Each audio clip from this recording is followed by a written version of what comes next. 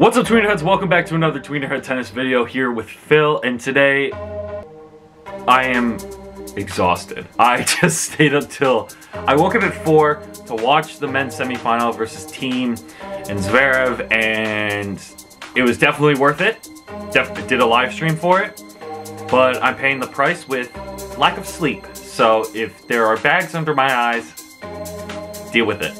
Welcome to my channel guys. We are back with another video and if you are new to Tweener Head Tennis, hi, I'm Phil. This is where we talk about tennis in a more casual way for you guys to have fun with the sport and to learn what's going on on and off the court. And today we're going to be talking about Caroline Wozniacki. But before we do that, make sure you are subscribed to Tweener Head Tennis. We just hit 700 subscribers. We're trying to get to a 1,000. So make sure you can help us on that journey. Let's talk about Caroline Wozniacki. Miss Sunshine as her nickname has been on tour for a really long time she was probably one of the best players to play during my generation growing up, watching tennis, watching her grow up on the tour. And I just wanted to break down the top five moments in my mind of the best Caroline Wozniacki moments or best points in her career.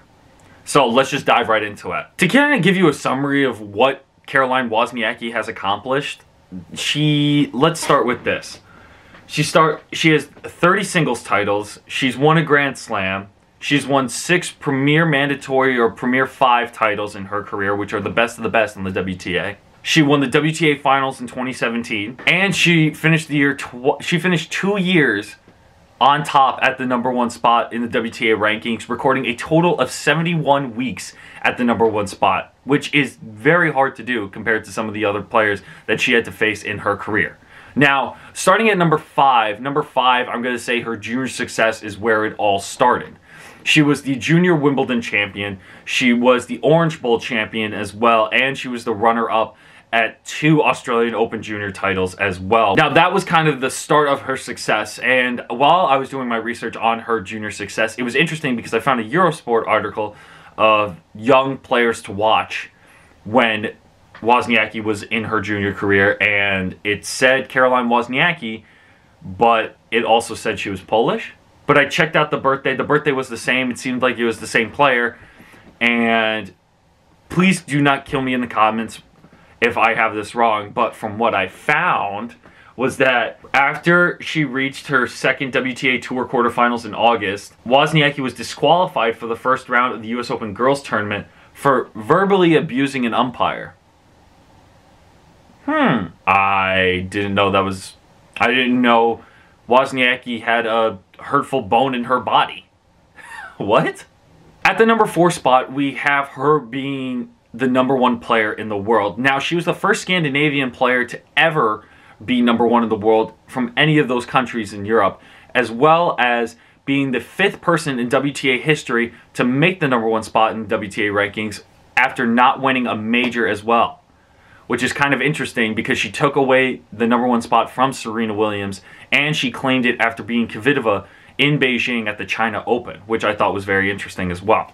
For the third spot of her best moments in her career, I would have to say making the finals at the US Open in 2009. Now, I say that because that's kind of where she made her mark, and that's where I remember her making a mark at the US Open as well when I was growing up watching tennis on her way to the final, she was the number nine seed at that year's U.S. Open, and she beat the likes of Melanie Oudin, Wickmeyer, Kuznetsova, and she was the first Danish player to ever make the final at the U.S. Open, where she eventually lost to Kim Clijsters. At the number two spot of Wozniacki's best of career moments, we have her winning the 2017 WTA Finals title.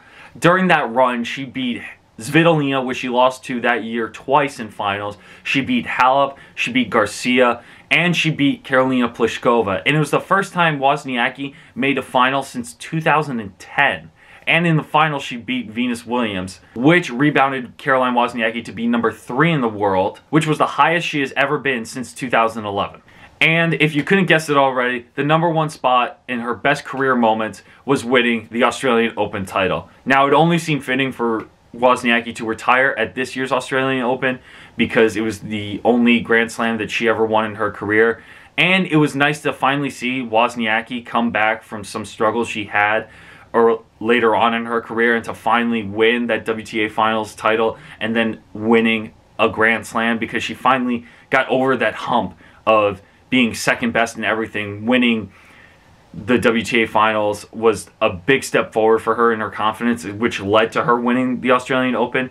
And she was making finals after finals, and she couldn't get over that hump, or at least some of those other number one players that made it to that spot in the world. And she was at that spot where some of the other number one players in the world, like Jankovic, who made it to number one in the world, but didn't win a Grand Slam, and Wozniacki finally got over that hurdle, which we were all waiting for, honestly.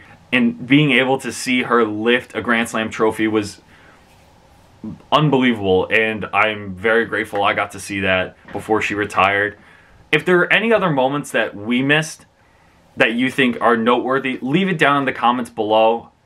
Caroline Wozniacki, thank you so much for bringing joy to the court and being one of the best players that we could watch and being an inspiration for the younger generation and everyone on tour, honestly.